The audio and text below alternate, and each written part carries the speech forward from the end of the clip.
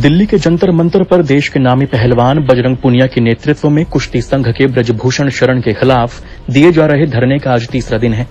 ऐसे में एक बार फिर ब्रजभूषण पर यौन शोषण के आरोप लगाते हुए धरना दिया जा रहा है। अब की बार उन्होंने स्पष्ट कर दिया कि जब तक कुश्ती संघ के चीफ के खिलाफ यौन शोषण की एफआईआर और उनकी गिरफ्तारी नहीं होगी, तब तक वो धरना खत्म नहीं करेंगे। क्योंकि पहले जब उन्होंने अपना धरना खत्म किया था, तब वो बहकावे में आ गए थे। वहीं अब इस मामले को लेकर बीजेपी नेत्री और खिलाड़ियों के न्याय के लिए जाँच कमेटी में शामिल की गई बबीता फोगाट ने एक बड़ा खुलासा करते हुए सनसनी मचा दी। बबीता ने बताया कि वो उस जाँच कमेटी में शामिल थी जो कुश्ती संघ के चीफ पर लगे आरोपों की जाँच कर रही थी। जब वो जाँच रिपोर्ट पढ़ रही थी, तब इस जाँच कमेटी में शामिल स्पोर्ट्स अथॉरिटी ऑफ़ इंडिया की अधिकारी राधिका श्रीमान ने उनके हाथ से रिपोर्ट छीन ली और रिपोर्ट छीनते वक्त उनके साथ बदतमीजी की। उन्होंने कहा कि मैंने कई बिंदुओं पर सवाल उठाए जिन्हें दरकिनार कर दिया गया।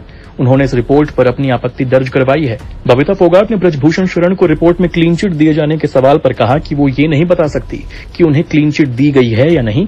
बबीता ने कहा कि खिलाड़ी और पहलवान अपने हक के लिए लड़ाई लड़ रहे हैं। उनका हक कोई नहीं छीन सकता। वहीं जब इस मामले में सुप्रीम कोर्ट ने सात रेसलर्स की याचिका स्वीकार कर ली है, जिसमें संघ अध्यक्ष ब्रजभूषण पर एफआईआर की मांग की गई है तो वहीं सुप्रीम कोर्ट ने दिल्ली पुलिस को नोटिस जारी कर जवाब मांगा है। केस की अगली सुनवाई शुक्रवार को होगी तो वहीं आपको बता दें कि जाँच के लिए केंद्रीय खेल मंत्रालय ने ओवरसाइट कमेटी बनाई थी, जिसमें अध्यक्ष मेरी कॉम को बनाया गया था।